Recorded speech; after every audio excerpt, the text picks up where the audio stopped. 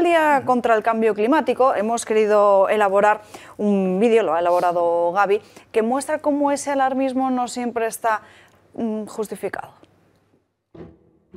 Hoy, 24 de octubre, es el Día Internacional contra el Cambio Climático, fenómeno en boca de todos los gobernantes y plasmado en sus políticas. Cualquier manifestación del temporal es producto del cambio climático. En Madrid ha llovido en abundancia en los últimos días y como se han visto en los titulares de varios medios de comunicación, ha llovido como nunca antes en la historia. Los políticos y los medios de comunicación al servicio de la Agenda 2030 tienen acceso directo a través de una carpeta a todos los datos de la historia.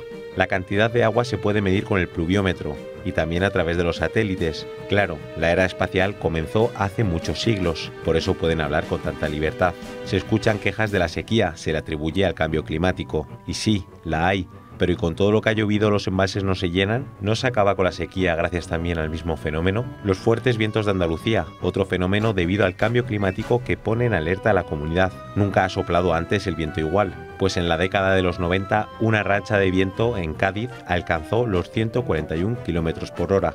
El calor en época otoñal, fenómeno que no se explican los políticos, pues aquí va algo de toda la vida, el veranillo de San Miguel o el veranillo de San Martín, algo más tarde. Hay mapas meteorológicos históricos disponibles desde 1899, no hay datos de toda la historia. Pedro Sánchez culpa al cambio climático de la sucesión de incendios sin tregua en España en los últimos años. Aseguró que el cambio climático mata, al igual que las erupciones volcánicas, pero existen hitos históricos en los que los volcanes han cambiado temperaturas, como la conocida como pequeña edad de hielo de la antigüedad tardía, en el siglo 6 y 7. Volcanes de Nueva Guinea, Salvador e Indonesia bajaron la temperatura de Europa y Asia 4 grados. Ni todos los fenómenos meteorológicos ocurren debido al cambio climático, ni el cambio climático ocurre como ellos dicen.